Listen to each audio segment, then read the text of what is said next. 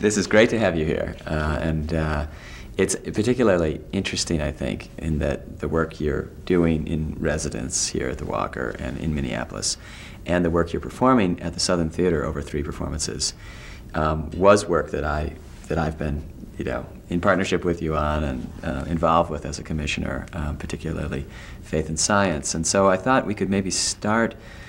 Um, there's some bigger general questions mm -hmm. about the landscape and dance in general that I'd like to talk to you about. But just to put it, the parameters around it, tell us about, let's talk a little bit about just what you're doing here this week. Okay. Um, you're in residence for a week, and we're halfway through this week. Um, you, we open, you open tonight at the Southern Theater for three performances.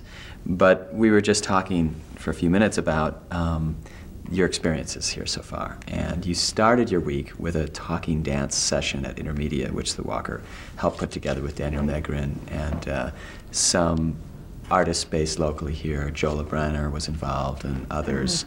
Uh, Yelena and Marcella. And Marcella, yeah. And so how did that, how did it go? How was it for you? Well, it was really the concept of text in dance, but also writers about dance and things, right? And yeah, actually, what was interesting is that Pamela, who uh, was the moderator, I think she really did let it wander. And although I think several of us thought we were going to talk about writing, really where it went and where it stayed for a long time was on the text Uh-huh, question. uh-huh. Whether text, how text how functions in work and, in dance work. and- Why and da da da. Right. And, um, I think what was sort of, uh, now, being in it, I don't know what it would have been like for the people out there, but for me, being in it, what was fun was um, the extent to which I consistently disagreed with Daniel, which is what I knew would happen. and, did you know Daniel before? Uh, I, I have a history with Daniel, and it was Uh-huh. so funny. We, Uh-huh. we um, in the best in the best way, I feel like I both disagreed with him and also um, agreed with him when I could. But uh, Right. uh, it was funny. I, I, I, And he's in, he's in residence with a, um, it's one of the McKnight Fellowships, Yes. I believe. Yeah. So, yeah. And he's so. In, what's interesting to me ultimately about Daniel, in addition to how much he's given the field and what a courageous person he's been, is that there's a lot about him and me that's alike in vision and goals. The way we get there, how we do it, there's so many aspects of that that are really different. And Hmm. if if anybody there would like to write about that, Right. I think you'd come up against generational Huh. male female differences, um, and actually the difference in some ways between modern and postmodern um, sensibilities. Right. Uh, in some real ways, he's a real classicist uh, in the best sense, and I am not. And th- it was just very interesting. But it came up around um, questions of text and like who should who should be allowed to perform text, and only people who are trained should be allowed to do text. To write text as well as, perform vocal, vocal, you know, Uh-huh. and I came right back with these questions about technique. Right. And um, if I had spent all this time trying to get rid of my physical technique in order to find a truer base for my movement, the same I felt was true about vocal. And Hmm. even though I didn't, I didn't have a trained voice, I felt like sometimes the authenticity of the untrained could speak to people. And so there was those kinds of things. That was it was it was really good.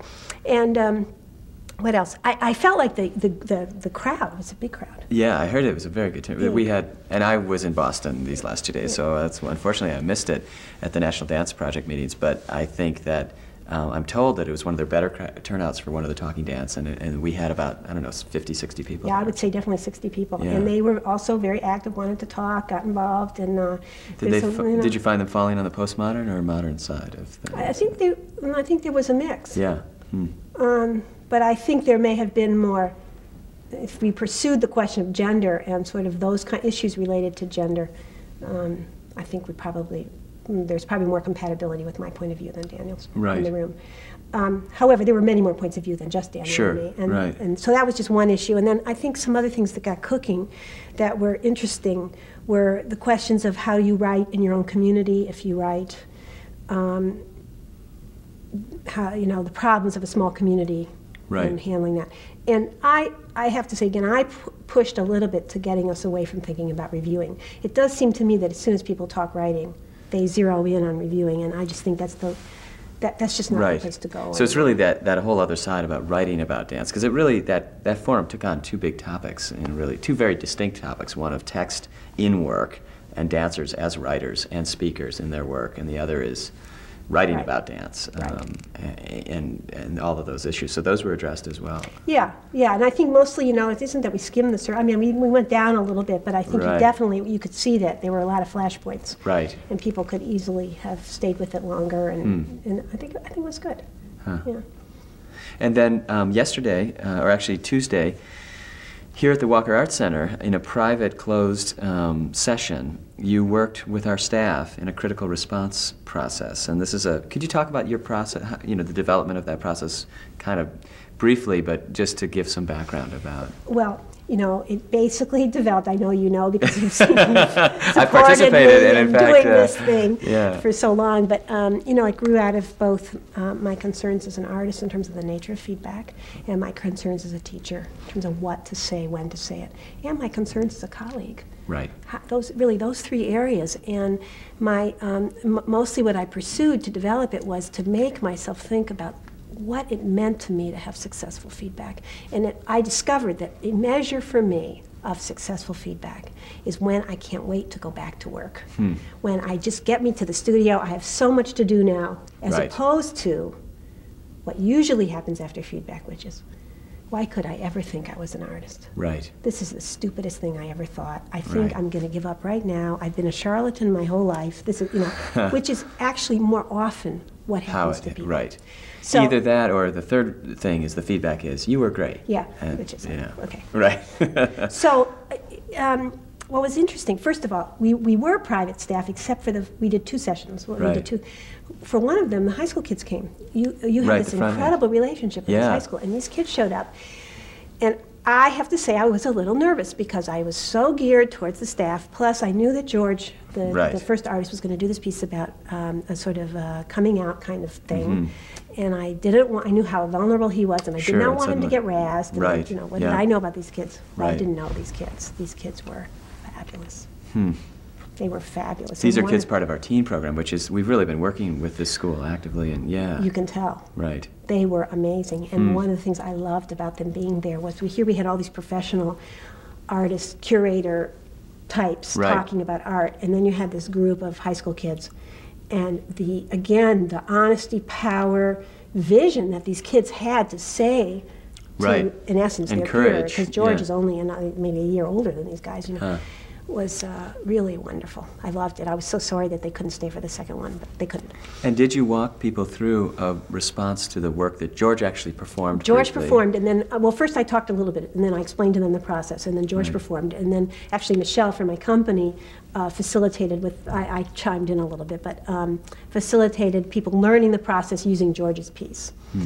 And um, I would say that it was effective in terms of learning. I think people, um, I think George was very moved by what Hmm. people had to say to him. Um, and, and I think George also, he gave excellent example to me about what happens if you, if you give too much of a certain kind of feedback, how a person shuts down and can't hear anymore. Right. Because in step four, when you can give opinions, Sure. we went one too many opinions, and you could just feel him going down, and, and the, the defenses coming up, and also the way he responded. And I was able to just point out to people, I said, look, see this? Right. You see this? Okay, this is why. It's pointless unless you just want to feel smart telling people what you think. Yeah, right. He's not hearing anymore. Right. So what, what, you know, so that was pretty interesting.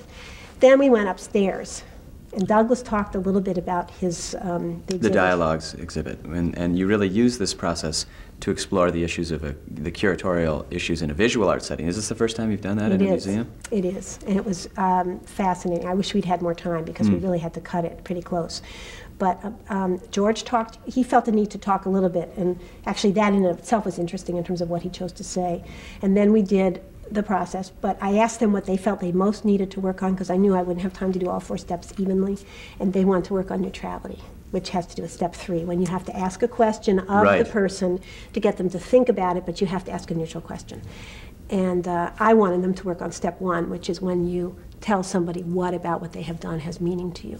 Huh. Because I feel like we never do enough of that. We're all too busy for that. Right. And the art world is in particular, you'd think it's dorky to do that kind of stuff. The Well, art, I there's much less of it, I find, in the visual art world of that reaffirmation and, and the, emphasizing the positive rather Yeah. than focusing immediately on what one feels is wrong, Wrong. about something. But That's something you've observed since you've been here. well, it's my first experience in, in a visual art Mm-hmm. um, setting. I mean, it's just that people um, there's there's a limited time, and people want to focus in on the things that need improvement. So, Yeah. Well, so step three went. Um, Well, I did step one, and the one comment that got made that I really highlighted was Doug had talked about how he felt the show moved these two artists in new directions and pushed them. So one of the curators said as a meaningful thing, I had no idea that that had happened in relation to this show. I'm proud to be part of the Walker. I'm happy to be part of an institution that makes that happen. And I just think that that's the kind of thing why step one is so important. Right. Because it was like this little binding moment for, in a good sense, Mm-hmm. and an awareness that after all this, you know, dragging ourselves to work and all the overwork and that right. you do have to come up every now and then and say, wow, we've done something we've here. done yeah, here. right. This is great.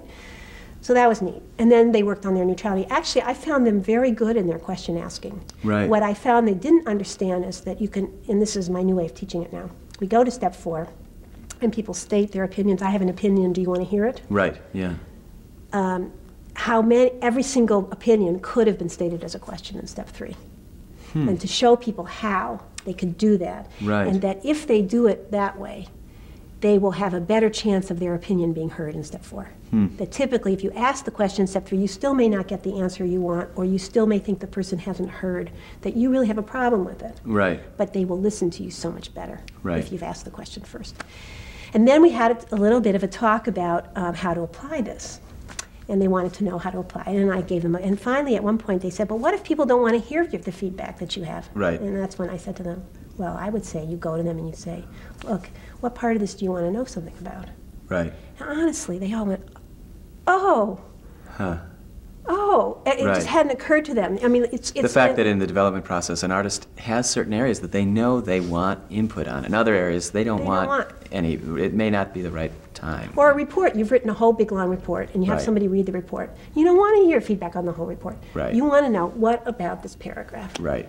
Yeah. And you'll really listen to that paragraph. So that was, I think, ra- rather revelatory for them, and I think that gave them a lot of bounce to their Hmm. Right. steps when they left. Oh, that's It great. was like, oh, okay. And I think we had 50 people or There were- there were a lot of people, and they stayed. Yeah, that's really They great. stayed. So I was very- Thank you for doing that. I, mean, well, I had a great time. Of course, it's thrilling to me to think that this has any application anywhere. Outside of a performing arts context. It just makes me so happy. Have you found that the critical response process, which you've developed and actually published, and is really your own step-by-step process to elicit feedback um, and to be able to make people comfortable, um, artists, in getting response to their work, has opened up for a lot of people. I mean, uh, an ability to get to to get um, their work to the next step. Uh, The, the examples that I have right now are some within the company and how Right. we're using it. Um, the New York Theater Lab, which is where Rent came out of, Right. called me. I went and did a weekend, Hmm. a training weekend, because what they do is feedback. That's how they, they it's a developmental space, and Hmm. they are ecstatic. wow. So in the th- and now we've started to get calls from playwrights from other parts of the country. So that thrills me. I, I have I can't say the dance world has particularly opened its heart to it, and my perception about that is that the dance world is um, now this I'm going to this is sort of a big generalization and. I would say that choreographers are among the most articulate and intelligent people I know. So it always surprises me that the dance world is a little anti intellectual. But it is. Hmm. My perception is, and that therefore uh, a process that is rigorous as this one is in relation to thought and, and consciousness Right. strikes some people as antithetical to the intuitive Uh-huh. kind of physicality, kinesthetic thing that Non-literal, we do. um, even though I think you can do all of that inside the process. Right. And for me, it's such a quick partnership between the two. It's not, a, to me, it's not an either or thing, but do feel like that that exists. So, as I say, Hmm. there's been less, but you know, we. It's not a defensive-ness in the dance community necessarily, or uh, just that I haven't, ex- I haven't gotten as much interest. I have, we are starting to get interest from campuses, which thrills me because Right. composition programs need it desperately. right. desperately, because that's, of course, where some of the most brutal stuff goes on. So I'm, I'm pleased with that. Right. But I would say it's been slow in the dance world. But it's, it, I, I don't need to be a missionary about it. If it comes, it comes. In fact, I was thinking it's nice I'm not a professional about the critical response process. It's just an aspect of my work. You know? Right, I yeah. can bring it with me. It's something I can do, but I'm not hawking it or, Right, you sure. know, saying do this thing. And that feels kind of good. Then yesterday you had um, um, masterclass for area dancers as well as a gathering for non-dancers, which is really um, also an aspect of your work that I think has had an impact nationwide Mm. in terms of just having dance get out of its um, at times hermetic kind of um, small closed community and, and having it have an impact and a reach um, outside of that community. Um, and um, and then tonight you have a three performance run at the Southern Theater. Um, and I thought before we get into some of the bigger questions that I want to ask you about the dance landscape and the cultural landscape that we're exist in at this moment in time, um, you're performing three works at the Southern, and the first. Or one of the pieces is a piece that you and I have been, been involved with for years, which is a you know which I can't wait to see again because I know oh, it's, it's really developed. you even- are you're going to be amazed. um, but could you just tell us about Shehechianu? And the section that we're going to see is Faith and Science in the Midway. And this has been a major project of yours Yes, for three years. Three years. Um, and you're new, moving into a new phase, um, whether it stays Hallelujah or not as a title, but starting thinking about another very large project. But tell us about the development of Shehechianu. Well, yes, I'd love to. Maybe it'll get clearer to me by talking about it. Well, faith and science, I, now completely love. And you, let's see, our history of it is that you were involved in it, and in fact, we began our very first work on it at the Flynn. At the Flynn, you're when right. You were there. Right. And our And very you were playing around with a lot of concepts. Oh and, weren't we? um, and then we came back to, to the Flynn that year and did a work in progress version of it, which had incorporated in it some of the characters and ideas that the piece continued to have. Now, the piece is still complicated, and I suspect a criticism of Shehechianu ultimately is that it perhaps has too many ideas, although for me, in Faith and Science, they're woven together really clearly now. Um, what what uh, originally was about to me was first of all this beautiful prayer. A Hebrew prayer It's a- that it- it- means. um, It's a I blessing. love hearing your description yeah. of it. Well, the traditional uh, translation is um, uh, uh, thanks for being uh, given life or breath, Right. being sustained and brought to this moment, which is actually such a wonderful idea. Um, kind of Buddhist, really. I mean, this. Idea of, of, and I think in the in the most uh, traditional Hebrew sense, it's probably about uh, that you're in this moment and therefore you know something about God's presence. For me, that's Hmm. been less powerful. The part that interests me is it's just so amazing that you know here we are in this room and here's Amanda filming and you're here and I'm here and Here we are in Minneapolis. How did we how all that, get how here? that, how that happened and wow um, it's and it's a little bit more than just irony and coincidence there i mean it is that but it's just um, acknowledging these unexpected connections in our lives which i think now this is the i don't know that this reads in the piece but i think this is what has sustained me in my development of it is my belief that as much as I adore being Jewish, sometimes being Jewish gets in the way of my connecting to somebody else. Hmm.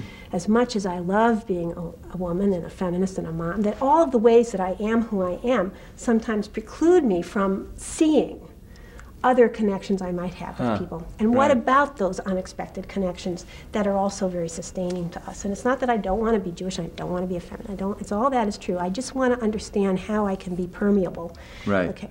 Now, I think ultimately one of our biggest problems around all that is history. So the piece, this, this is not going to read in this in Act One. Right. By the time I finish Act Three, I hope this is going to read, and it has to do with um, what do we do about our history? What of our history, personal and otherwise, do I bring forward, and the, uh, complete with all its scars? Right. And what do I say? I don't need anymore. And you know, as a Jew, I think this is just a major question. I mean, I grew up. I'm the generation that grew up. Never forget. Right, Just never. right. And it's not that I want to forget But the even Holocaust, but on the other hand, it is not here before my eye in everything that I do. In fact, I would like to be a Jew for which the Holocaust is not the central Right. location of my Right. Jewishness. right. Hmm. So, with that as background, what has happened to Faith and Science now uh, is that I it's three stories going on simultaneous. One story is the prayer, uh, sort of exploration of the prayer, and the prayer comes and goes. One story is the 1904 St. Louis World's Fair and events that took place there. And one story is these unexpected connections between people and between history. Hmm. And it's just woven together and with a sort of a, um, certain historical characters emerging in the context of it. And, and I think it's pretty complete now. Hmm. There's You've, one, I- you've just I- concluded, uh, uh, finished th- um, third act? No, I'm in the midst of In the, midst- third uh-huh, right now. Right. Oh, it's giving me such a hard time.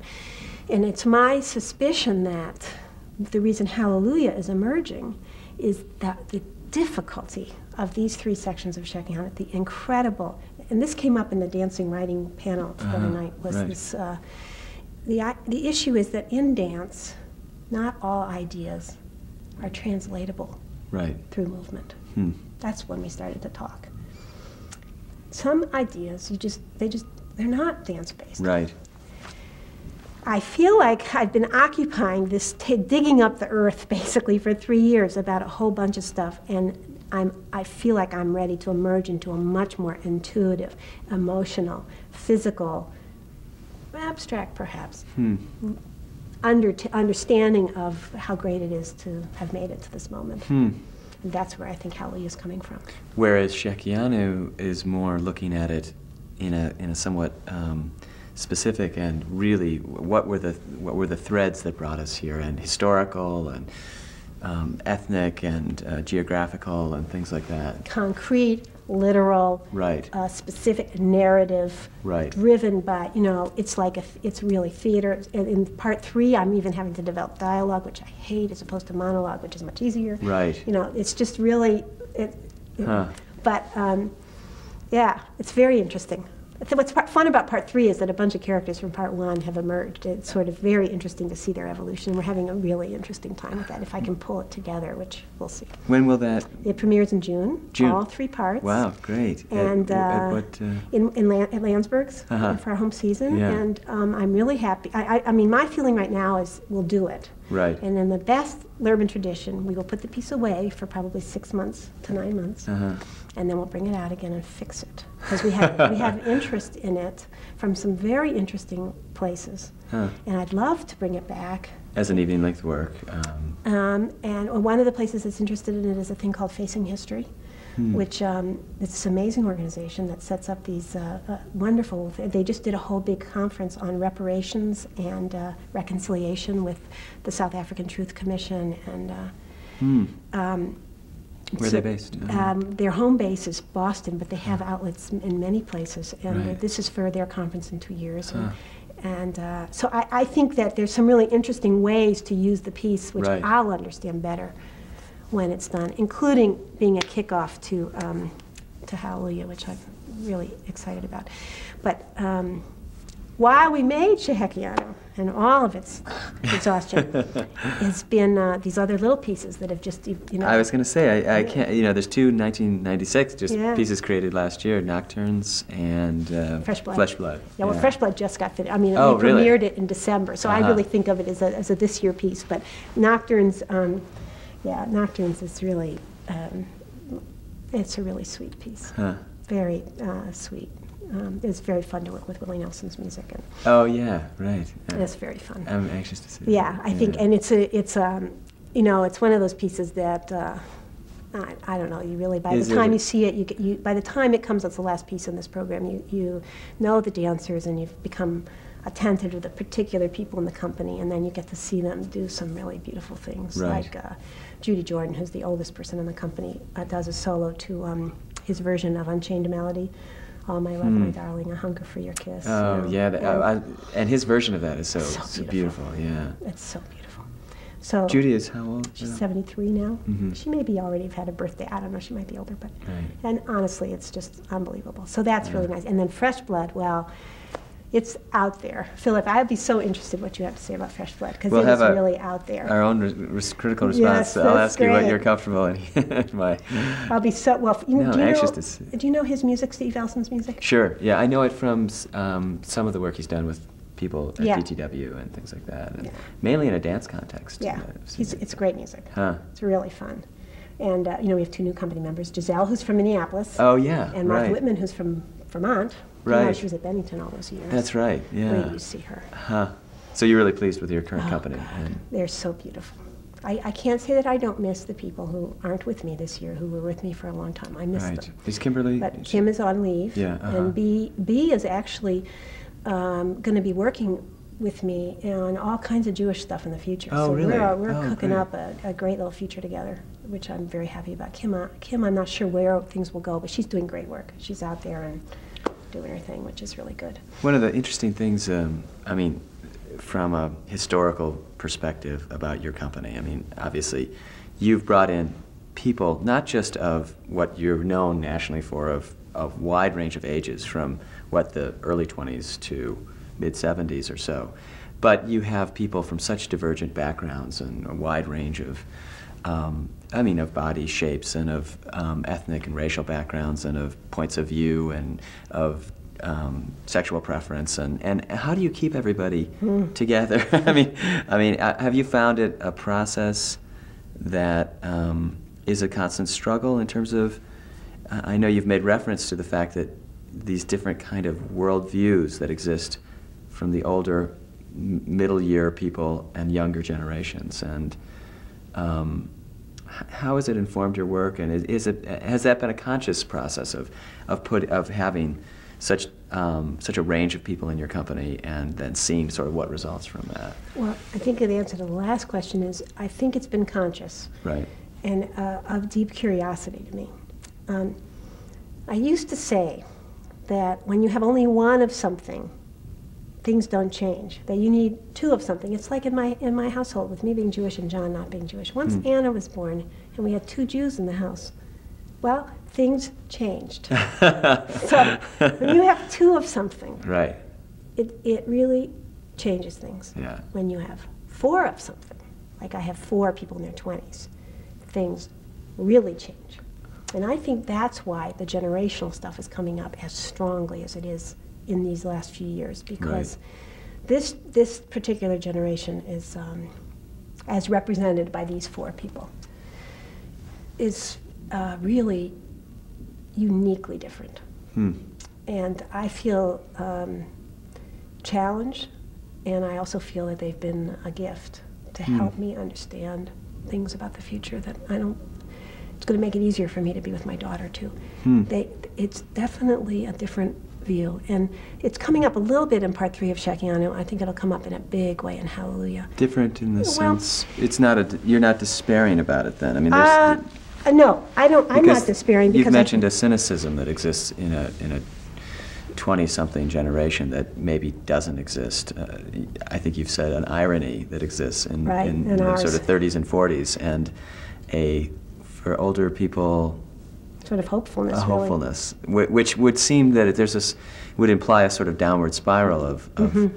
from optimism to pessimism in a certain way. But but you also find gratifying. Um, I mean, th- things that give you hope and things that give you new ideas and inspiration Definitely. from. Definitely. See, partly I feel like their cynicism is not entirely real, just like our irony isn't entirely real. By that I mean I think that they manipulate it. Like Ah. I manipulate irony. I'm not always an ironic person. Right. I think irony is just a very powerful tool for me to deal with my disappointments. Hmm. And uh, whether say that's the disappointment of the government.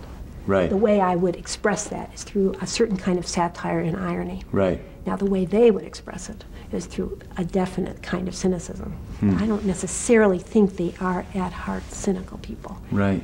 And actually, it's come up around this character of, of Roosevelt, because Teddy Roosevelt appears in part one, and at part the in part three, we're trying to we're we're thinking about all the 20th century presidents, and we're sort of right now working in this valley of broken statues of presidents, and Jeffrey. We're trying to figure out what Jeffrey is in all of that, and. Um, Jeffrey's one of the uh, twen- people in the company. or- yeah, yeah, he's right. actually he's, I can't believe it. He's 26 or 7 now. I don't know how that happened, but anyway, he's four years older than he used to be. Right. But he, um, we were talking about um, Clinton and Gore one day, and I said something like it was right after the fundraising scandal stuff. Right. You know, and I cannot, I cannot believe this. Uh, You know, how can, how can they? Right. And Jeffrey looked at me, and he's just cool as a cucumber, and he said. Well, I don't know why you'd expect anything different. I mean, I never had any expectations that they wouldn't do that. And that therein is a massive difference Right. between my experience of growing up with having seen the civil rights movement that you can make change, Right. that you can create a different world, a belief that you have affect and you can affect things and change things. This generation Hmm. doesn't even start from that place. Does it mean everything is more on a personal level? a Well, they definitely are. I think they are extremely, very right. personal. But they have tons of incredible energy. They're very funny, Hmm. very funny. They um, there's a, a, a speed, quickness that isn't Right. just youth. Uh, uh, there's something. Do you think it's media informed? Yeah. Uh, hmm uh-huh. hmm And a certain, um, certainly uh, a, a curious form of aesthetics It's very eclectic, all over Hmm. the map, and even more so than say than say mine. And definitely no earnestness. I mean, that's one of the big jokes in the company, how earnest I am. You know, I'll go on and on about art and community, and then we're talking, say, about the new school we're going to have in Right. Exchange, and I'll be talking about okay, you know, and they- they'll listen to me talking to them and say, why don't we just say get real? Wouldn't that work? Is it sort of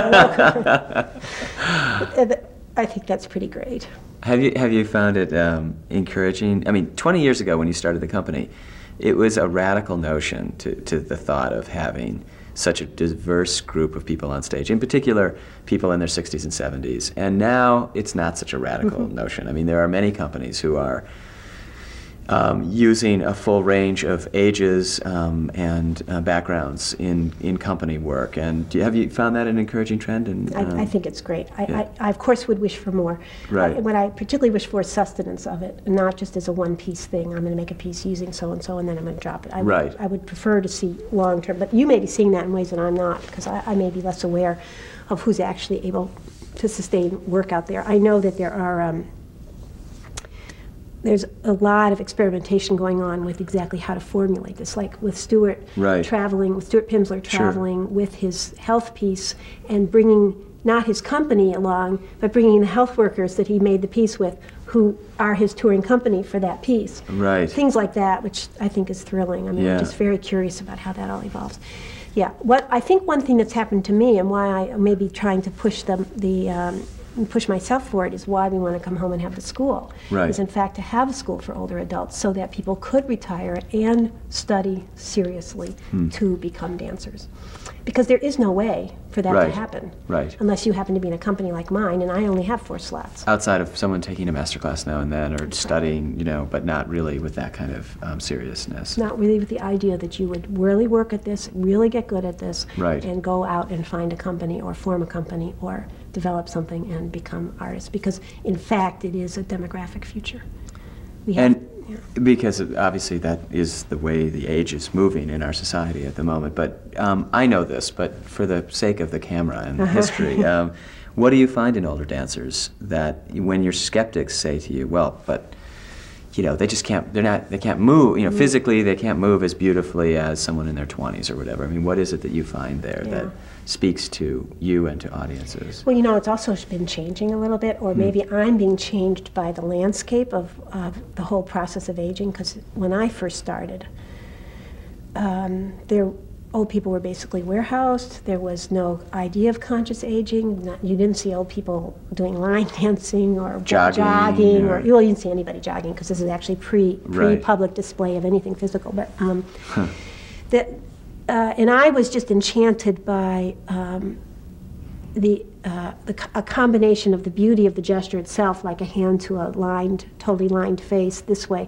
just the, the, the beauty of the gesture uh, and the courage of the performer, the boldness of that movement. Uh, I don't mean that this is such a bold movement, but if Hmm. No, they tried with the just- honesty sort of. and- yeah, it right. was just I, I could, it was so it, it was precisely what was lacking to me in any trained person I worked with. Right. And that I always felt like if I brought the trained person in contact with that, that there was an osmosis. That the that in fact those, the older dancers got to be better dancers faster Hmm. by the very context of our work. But the young dancers gave up that veneer Right. a lot faster Hmm. because of the relationship. And I always, that was just always enchanting to me. So that was one thing. Secondly, I really love the stories they brought. Hmm. I always think about the piece we did called The Perfect Ten, which we did about, um, I don't know, seven, eight years ago. But um, everybody had to tell a story about something that happened in 10 minutes. And, you know, uh, uh, Judy Jordan says, who's still with the company, says something like, "Well, you can be born, ten months you can die, but you can't get divorced." in 10 minutes." and she is in the middle of like this really protracted, you know. But just having the 65-year-old woman say that is just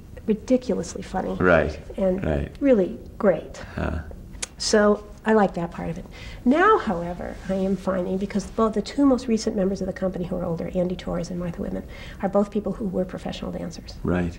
So what's evolving now is all the people who haven't stopped, who want to keep going, Right. and Who are sort of um, lost. I mean, not lost, but unseen out unseen. there. Yeah. Unseen is exactly right. Right. Now Andy was totally unseen. He was teaching in an outreach class in in a ballet company in Columbus. Right. And this guy is just amazing. Hmm. Um, he's amazing uh, on stage. He's amazing off stage. Um, the history he brings.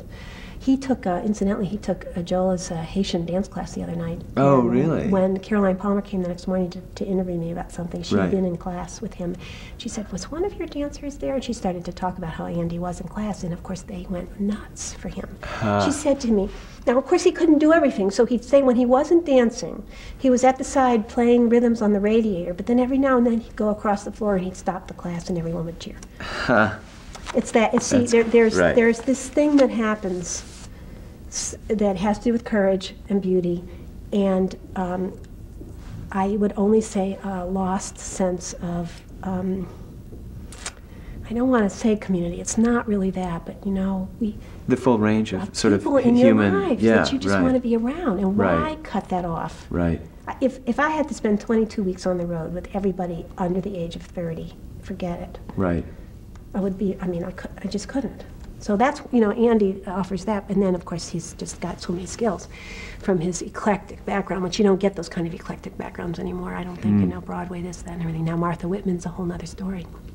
Here's a woman who danced with Sokolow, danced with Humphrey, left to go have a family and teach at Bennington College. She's up there for 35 years teaching. Brilliant teacher. Gets fired by this Was this huge, ridiculous change of dumb Bennington. thing to Right. downsize and let go of somebody who's as brilliant as Martha is like nuts. But in the end, I'm so glad they did it because I called her and she came and Huh.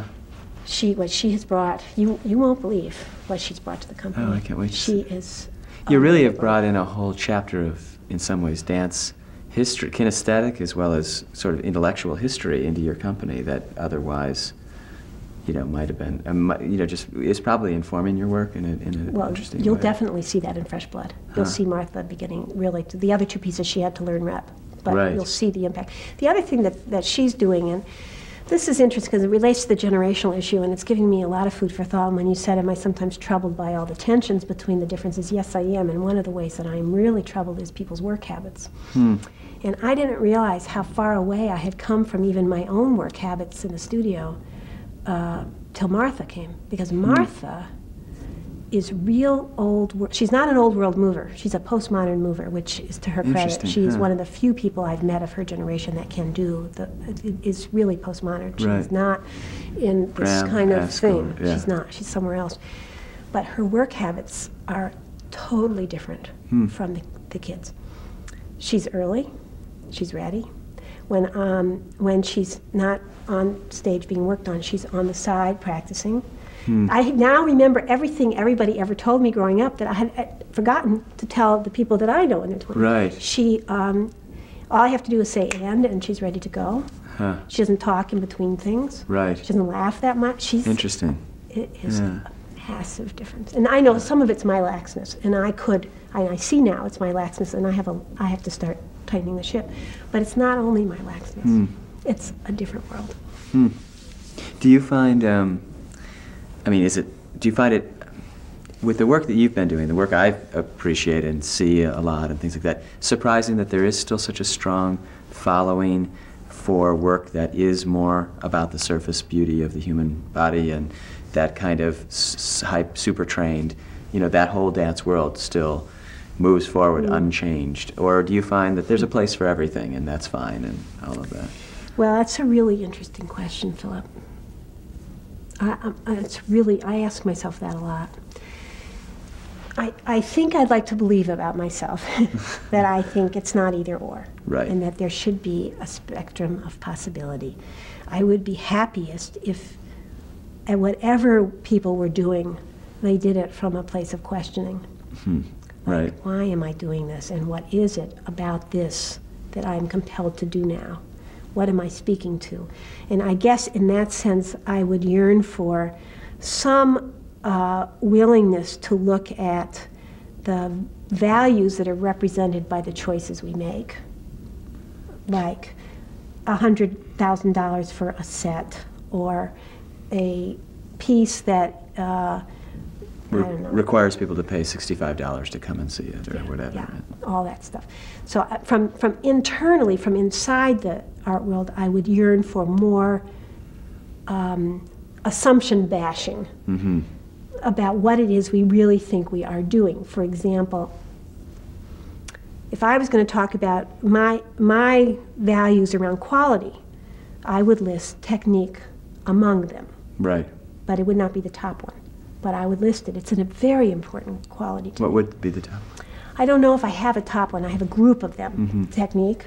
Um, more, much more important than technique to me is the commitment of the individual to the movement that they are doing Hmm. and an understanding as to why they're doing it. Right. If they, if they do the movement with commitment because they understand why they're being asked to do it and they are connected to it in the moment, it will be incredible. Hmm. And when that's gone, I'm very unhappy. That's why I'm not happy at a lot of dance concerts because Right. I don't think a lot of people think about that. Right.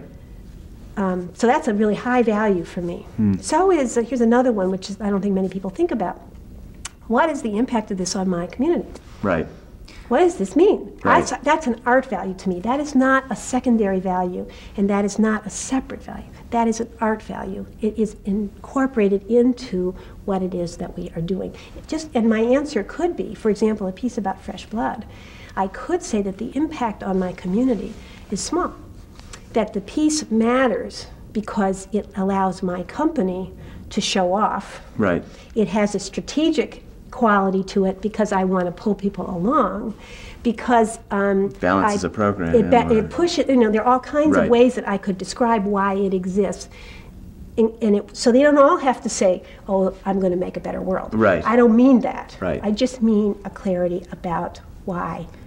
And I see. I But there are there is a paradigm of a whole gr- part of the dance world and the, the performing arts world in general that um, to create an entertaining hour and a half um, that is well done is the end uh, in and of itself. And so it seems that you start from a very different place, and there may be a difficulty ever, you know, finding. I mean that that's why I asked the question. That it, you know, do, do you feel even that that other side is is uh, has a credibility in a certain way and. Um, in some ways, your focus on how artwork can impact on community is, I see, the other major impact you've had on the world, on the cultural landscape, um, in the sense that the, even the concept that dance, uh, uh, for, for, you know, concert dance and um, choreography can actually address social and community issues is something that was really sort of, in some ways, unheard of, um, you know, 30 years ago. Um, and I, I guess I, I'd like to ask what, what do you think it is about, say, the arts, the performing arts, or dance in particular, that makes it uniquely suited to grapple with issues of of community issues that we struggle with as people in our communities or in our world. Um, how did how do you, how did you come to the point? Maybe it was way long ago when you were very young, but to realize that dance, which often had been seen as a way to, at least in a Western society, to entertain or to to bring beauty in this way, could be used in a different way to address issues um, that are really uh, beyond the, the stage itself. Uh, Well, it's a big question, but I. Uh, but you know, I think what's interesting is even just starting with the idea about entertainment and beauty, both of which are important. Right. So, one thing I've been working on lately is trying to figure out how to Not set up that dichotomy not necessarily. that either yeah. or stuff, Right. only because I, I, I realized lately that that I think that's the I think that's a big problem because That people you- view it in that either way. or so- yeah, because some of your pieces that have had some of the most meaning, you know, have been you have used humor and humanity and entertainment qualities Totally. that totally get them in under someone's in fact skin. And, uh, typically they're better than Huh. the, the idea pieces. I think the idea, I, I've decided, this is a little tangent, and then I'll come back to your question. I've decided that these idea pieces are um, um, really, really essential. I, I could not move without them. Right. Um, and I've decided they're a lot like fertilizer. And they, um, uh, even if they aren't as effective as some of the little pieces, um, I couldn't only make the little pieces. I wouldn't go anywhere. Right. And, and it sort of brings me around to John Cage. Hmm. In an odd way, I start linking myself a lot to him because I think hmm. a lot about how he did all that weird music, right? And then he did all that great writing. Right. Now, nobody ever said to him, stop doing the music, just, just write. your writing is so good. No, don't do the music part, it's not as good as your writing. Right. The only way he could write was because he did the music. And the only way he could do that music was because he wrote. Right. I really believe that about him. I hmm. never met him, I don't know. But I really believe that there is some clear link and partnership in how he thinks. Right. And I feel I'm like that. Right. I feel like I do my some of my best thinking when I slog my way through something like Shehechianu. Hmm. And that in the midst of making that piece, I am learning so much. I am confronting so much. I am getting so much clear about a zillion things that will affect me on beyond the piece. Hmm. And that typically the piece that follows one of these big idea pieces, I do them about every five years. They're always fabulous. Right. They're always like, Huh. you know, they're like trampolines that just go, you know. Huh. So that's, that's, that's sort of like a little piece. But, but as to the question about um, the reason the either or thing I think is so scary is that if, if your world is either or, and here's concert and here's community, or here's quality and here's whatever, Yeah. I think that people who are up here, the only thing they can imagine is that. I see. I mean, that's the only world they can imagine. They only can then see themselves on the bottom, and that's why they're so terrified. They can't even Very imagine this. Yeah. Right. they can't they can't even and I have to say for the people who have been down here, it's so bruising to get here. They don't always want to stop here. Right. I mean, Are we there now? no, I don't think we're there yet. Some actually, we may be, and I may not be able to see that we are because I Right. still I'm one of these people, you know, and I feel like oh, but no, I suspect we are. I Right. think I think we are much closer. And to then for uh, say that of course there's a place in the world for people doing just entertainment and just um, beauty. And hopefully they will push that envelope really far, and I can borrow from what they have come to understand, like Riverdance. Right. Now, Riverdance is interesting in relation to Hallelujah. Mm-hmm. I've been watching it a lot on TV, and I'm going to try to see it this summer. Mm-hmm. Uh, that's an example. Here's something that I really pushed way out there in some ways that I could care less about. Right. But there is something going on, and I'm going to borrow from their playbook. Hmm. I haven't seen Riverdance um, other than s- clips of it. Mm-hmm. It is having an impact uh, broadly in some ways. I find it interesting though that some of the work that I've always loved too does come from tradition, you know, traditions um, that they sprung from that Riverdance u- uses to gain its power. And there's people like Rhythm in Shoes and Mm-hmm. traditional Irish step dancers who we've presented at the Flynn. You know, others that that you know maintain that power and somehow they just took it and sort of expanded it in some way, as I understand They, it. they have actually the piece that um, in this case I'm less interested in what they did to their form. I Right. probably would have more problems with what they did with their traditions than I am about the nature of what is it that attracts the audience so much to it. Uh-huh, And right. it has something to do with scale. Hmm. And that's that's where I want to work with Hallelujah. I is I want to push this scale question. It, uh, the one clip I've seen is what uh, maybe it's towards the end of the piece where 80 like 20 dancers they come swooping Right. down in that line, you know. And uh, I'm sure that that's extremely um, affecting to an audience person, which goes back now to your question about the power of dance. Um, I, I really believe that on some deep level, that um, dancing has so much more power in it than we have attributed it in our culture and that um, the way for people to comprehend that best is to do it. Yes, you can sit and river dance, and the music is really loud, so the pumping, the bass sounds are probably Shaking your moving seat, your yeah. chair. Right. And 80 people come sweeping at you in unison. And for a moment, it might be like being at the edge of a field when you were praying for something and it was your spring festival and your life depended on it. Maybe for a split second. You could get that from your seat. But mostly, I think people get it these days if they do it, which is why I am so insistent about participation. Not, not. Uh, I, I just don't know how else.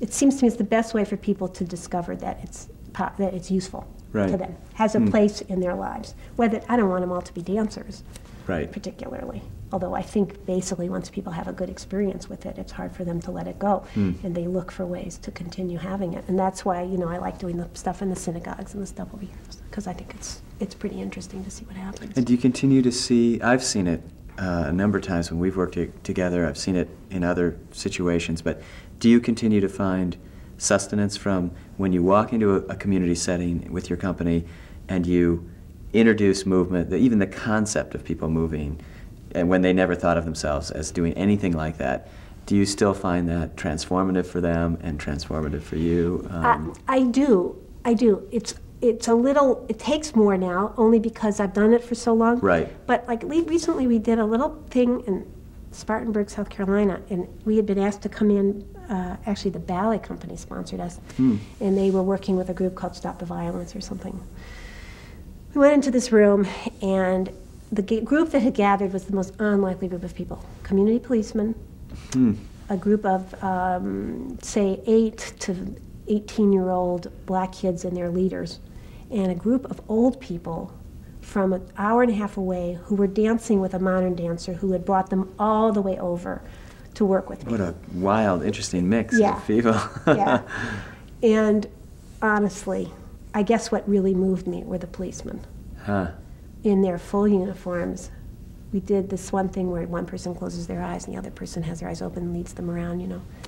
And there were these kids leading these policemen around the room, Huh. I mean, I thought my heart really would break. I thought, now this is just such an astonishing way for this community, given what's going on between policemen and their right. communities. And young black men. And, and, all that. And here, and these guys, these policemen just had their, they were just so, okay. Huh. You know, I, I was really amazing to me. Uh, so in moments like that, I'm just struck with how lucky I am right. to know a little something that might help. And then, you know, plus of course, and here we're back to the art.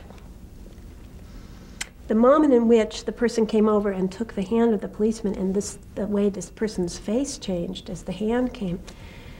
I mean, it's as beautiful as anything right, you right. could ever see. Yeah. So it's not a question to me about aesthetics anymore. Right. It's not just, oh, let's do, do something good for the community. It is clearly an absolutely beautiful moment of art. Mm. So I, I, I'm um, happy for that. I, I think my own role, however, is going to be less doing like that right. and more teaching. Um, Others to be able to, yeah. And that's why you're setting up a series of um, I mean, some sort of, in some ways, institutes. I know in New England we've been mm -hmm. in mm-hmm. conversation and places that artists can come, choreographers, or even those that are not, but and learn some of the things that you've learned over mm -hmm. the mm-hmm. years and how to make make those transformations within their own communities and things like that. I would be much happier for other people to be doing it than right. us. And, I, and, and, to the extent that, yes, I'm glad, as your earlier question, that there's more older people dancing and they're more, you know, there still is such, there's still some resistance with, which I wish would just go away in the art world. That's why we really need to do right. this because the resistance is stupid. It's dumb for us to be fighting this anymore. And maybe, right. maybe I'm the one that could say more and more about. Yes, I love that you're doing the dances you're doing, and come look at this, mm-hmm. rather than making maybe I contribute to the either or quality and should change that. But well, I think there's issues of funding and um, reduction of presentation opportunities that all feed See, into. I know it of, feeds into that that right. sense of oh my God. But you know, it's it's funny because. Um, and this is where we need, it would be nice to do, have some more research and analysis, is to really research where the dollars are going. I know right. it seems, especially when Lila Wallace gives, for example, gives me such a generous gift. Right, congratulations. It's that. really great. huge yeah. and wonderful and amazing. But I know that how that reads out there. Right. It reads a certain kind of panic. Right. Um, which is which is why I wish we could also at the same time show all the other the Mellon money, sure. the Pew money, right. the other money, which you know. Not are, to mention you know. corporate sponsorship and yeah. other major. Yeah. yeah. So I mean, it, the world is changing, and it's not changing enough to help people to help people see that. But right. I do think, and here maybe I'm maybe I'm um, in the really big picture. I don't think people will survive if they do not take on some understanding about their relationship to the community around them. Hmm. I don't think they will make it. Right. I just don't. And it's not just because the funders are changing. Yeah. The world is changing. Right. People are changing. They won't make it. Hmm. Maybe a few will. Right. Maybe a few will. But um, all of the individuals who've supported that kind of work all these years, the symphonies and the ballets, even the families that have given them all that money, those kids aren't giving. Right. Those kids are doing something else. Yeah. The least those kids are doing is they're servicing their own children. So you're going to at least have to Right. open up and say, hey, Yeah. come and find out what we're doing. But given, given what's happening in the commercial world and the computer world and all that stuff, And the demands on people's time and things like that. that stuff, that's one of the big questions for us about our school, incidentally, is we're trying to figure out exactly what is the structure that people will actually leave their homes for and come out and do something. Hmm.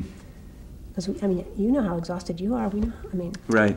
And it is, I think, one of the big things that we all sort of Yeah. confront on, on, in the realm of putting on performances and encouraging people in residency activities and how do you get the people there. But um, I, I'm going to move for a 2nd Mhm. into kind of the technique side. Okay. When you construct a work, Mhm. when you start going after it, you've got often, like you said, you've got ideas that you're grappling with, but you've got movement vocabulary Mhm. too. How do you go about, and maybe you might want to use one of the works we're going to see at the Southern, how do you go about the starting point and then the refinement of the development of the movement? And how much of a role does your company play in that?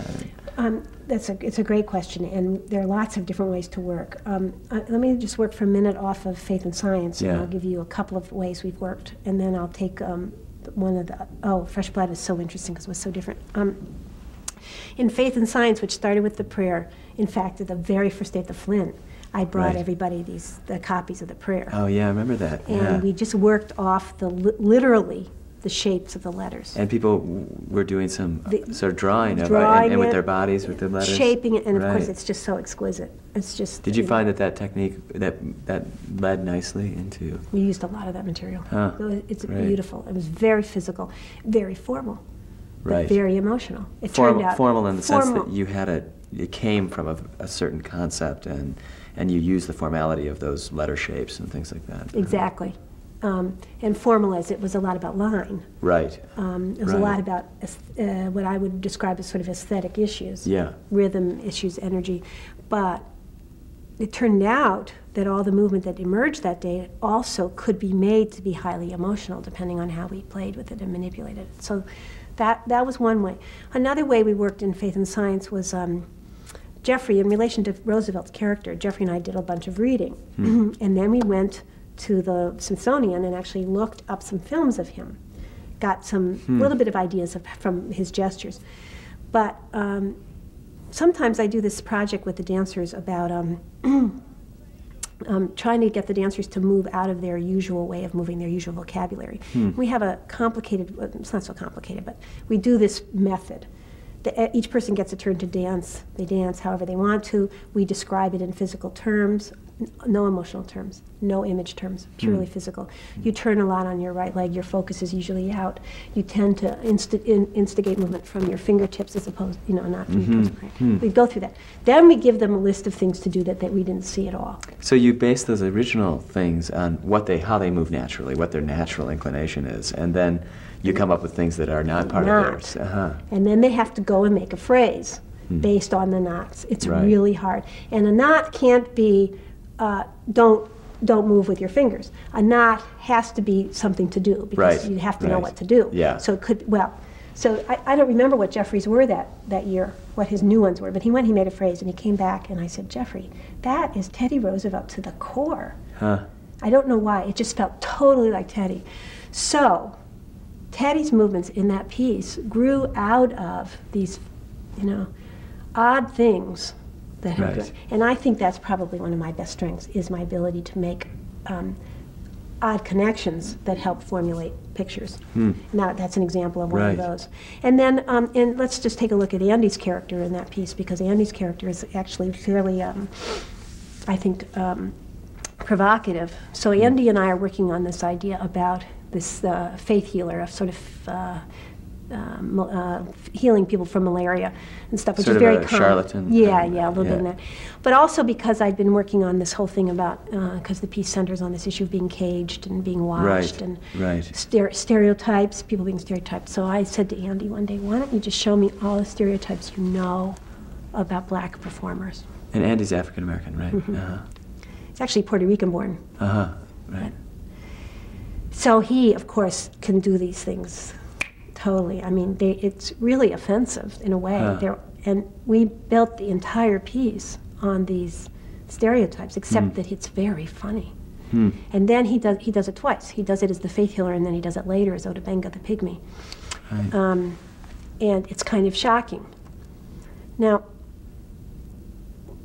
that, um, I'm not sure how to categorize that, except that it's sort of subject matter based. Right. Um, Did you maintain retain that? Uh-huh. that- It's in the piece. But what have you spark have sparks flown? well, Uh, here's what happened. After the first version of the piece, uh, African American uh, person that I know came up to me and said, "You make the black character do all the hard work. The Jewish character doesn't have to be car- caricatured. The Jewish character gets all the dignity." Hmm. Thought about that. They were right.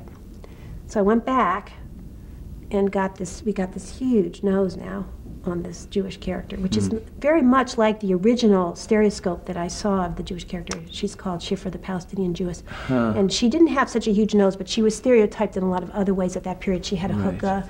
She had very uh, softig, very uh, exotic kind of tresses, like a sexual kind of come on, you know, which Right. would have been right at the turn of the century for how they might have treated Jewish women in some ways. So now the Jewish character has this big nose. Well, you should hear some Jewish audiences. Hmm.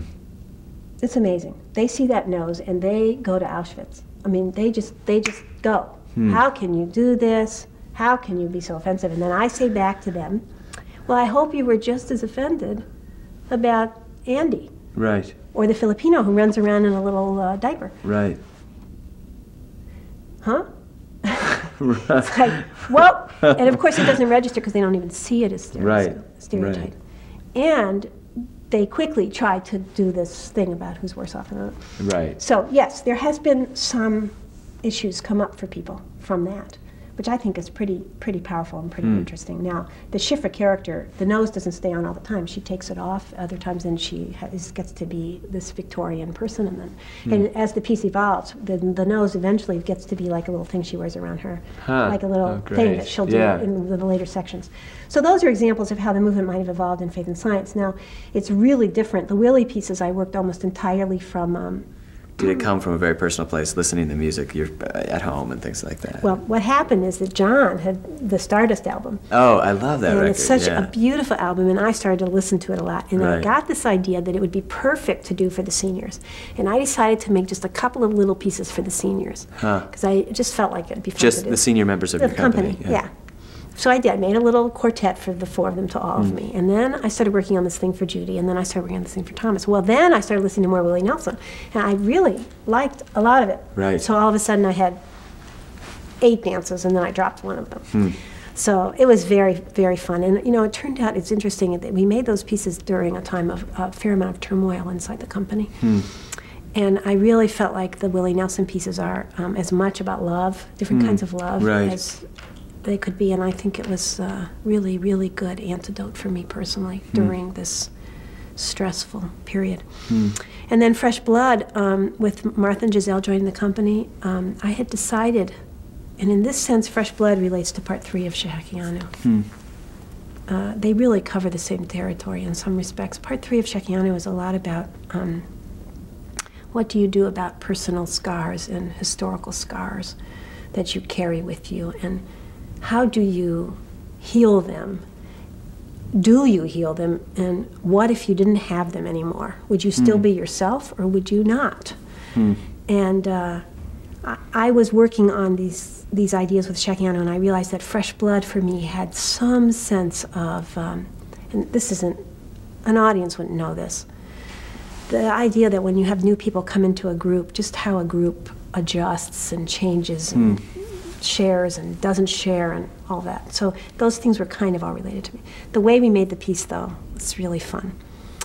I had everybody. It was the first day in the studio, brand new You, studio. new, brand, you have a brand new studio It was Washington. amazing. yeah. You know, we were in there, and I had. I wanted to do a little ceremony, so I asked everybody to think about a time in their lives when they had been the most excellent student or the most excellent teacher, Hmm. when it was so wonderful, When they themselves. Uh-huh.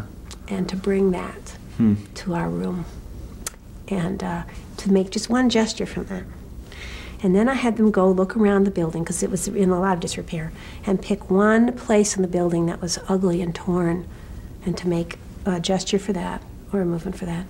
And then to come back and make one movement that was how beautiful the place would look one day. Hmm. So each person had the beginning of a phrase that had three little things to it. And then we did something I've we've never done. We did a round robin. Oh, Everybody huh. went to another person and they had a movement added on. Right.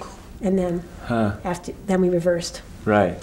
So everybody had this long phrase that had begun with their excellent student teacher, with this torn building, with this, ho- and then with the contributions of the, their colleagues. Right. And that forms the movement material Oh, really? for the piece, along with a couple of images around how would you like um, get rid of scars. I mean, so uh, thinking both scarring of the building and fixing the building, but also scarring of because there's like this this thing shows up a bunch of the. But so that that and then I had this great music and it came out so fast. It's like it's pretty. It was pretty fun. Do you find it interesting when an audience sees a work that comes out of a place where you've got a pretty specific idea of, say, the removal of scarring or coming from a building that mm-hmm. this audience will have no clue about what it. Yeah. is?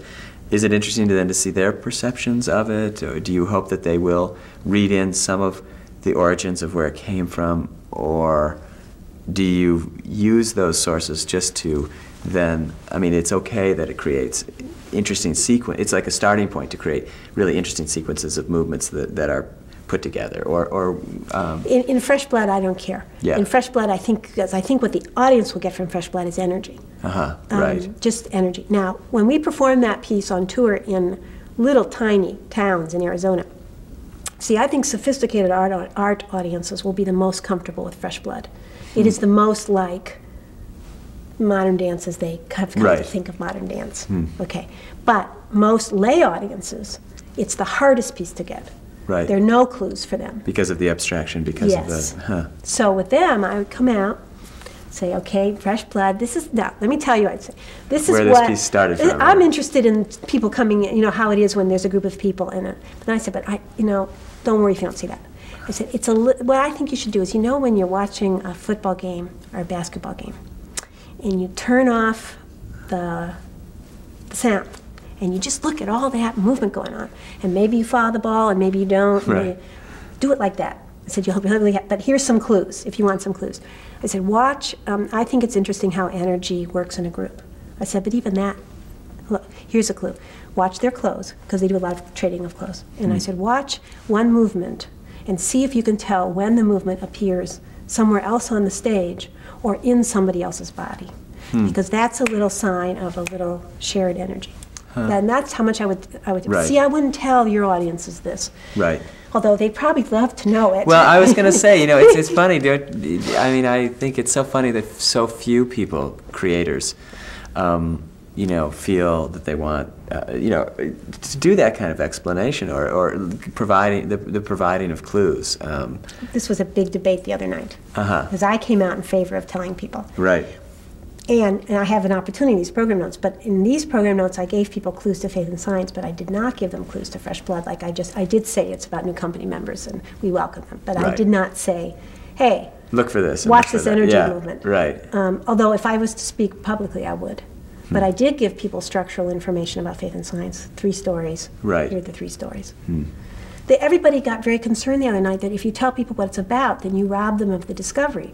And when I keep telling, I think there's a way to tell, give people a handle without telling them what they're going to find out. right I think we've all been at performances where there's a didactic sort of someone sort of saying, and then you'll see this, and then you'll see that, and that obviously isn't the way to do it. But There is- I think there's a way to do it. There should not- be, and it's that- something we could work on. Because there's then the, the danger if you don't is there's that 70% of the audience that doesn't see a lot of modern dance or postmodern dance who feels like they've been left uninformed, Mm-hmm. uh, if not insulted in some way, because you know that or that or they're left um, um, feeling um, not intelligent, like they, didn't Yeah. they, they didn't get it in some way. So we run a little bit of a risk even here, but I Sure. see here what we did is we put fresh blood first because basically we want to get the dance audience over Sure. the hump. Hey, they know how to dance. Right. That's interesting. So we got that out of the way. right. Then we can go to faith and science, and they can get, and then they can end with the Willies, and they have this you know sweet time. But Right. in Arizona, we opened with the Willies. Hmm.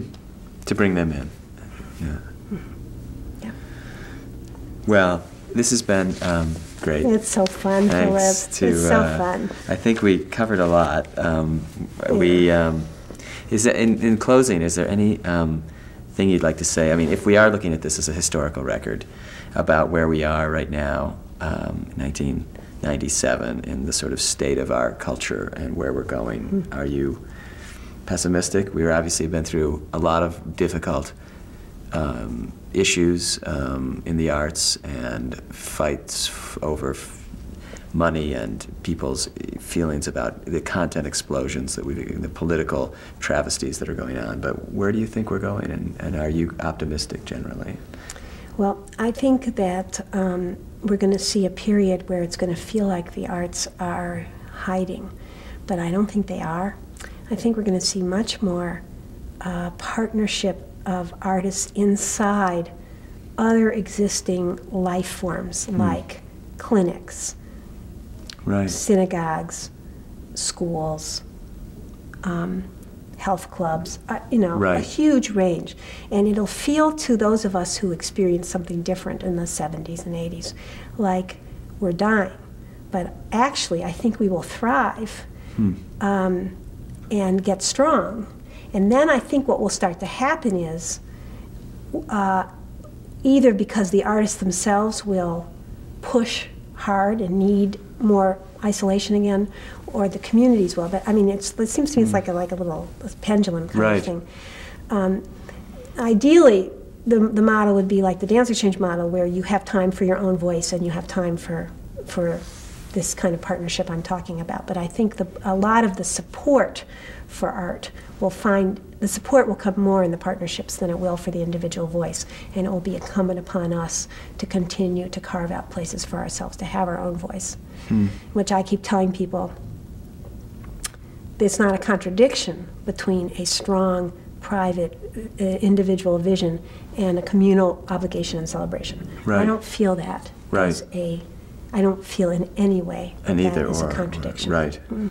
I even think I can do these really provocative pieces, men kissing and all you know, and work it through with the communities to which I am a part. Right. I just I just feel like that's really possible. In in the long run, um, I, I just I don't know how we're gonna. Um, I, I don't know. I, I feel like the bigger bigger for me the bigger battle is commercial culture. Hmm. That's where I'm most I'm most most scared is the extent to which how fast we are losing people to um, a belief that speed, action, um, everybody the Surface, same, uh, swift, uh, cool, all how I mean the kids are into that so young.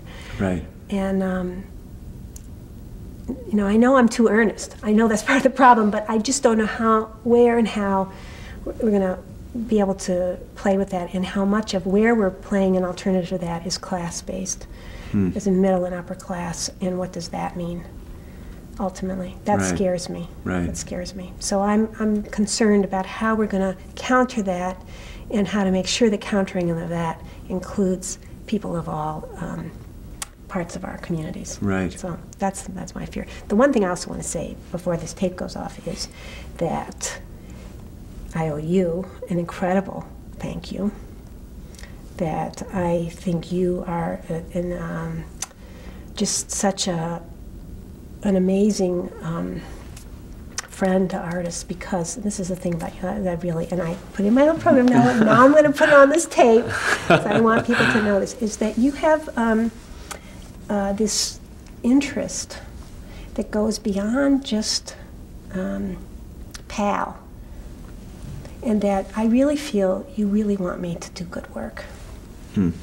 I feel like you really want me to do good work and that you will hold me to a high standard, whatever that is. And you're willing to learn from me. I mean, I think you're willing to say, okay, show me what you think it is, Liz.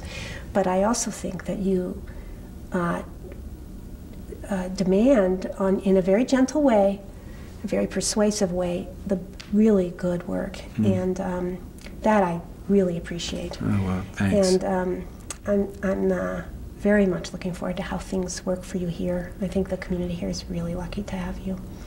Thanks a lot. Mhm. Yeah. Well, it's going to be an adventure. Yes, I think so. Um, thanks. And there's my There. ride. It's Ariel. Great. Thanks.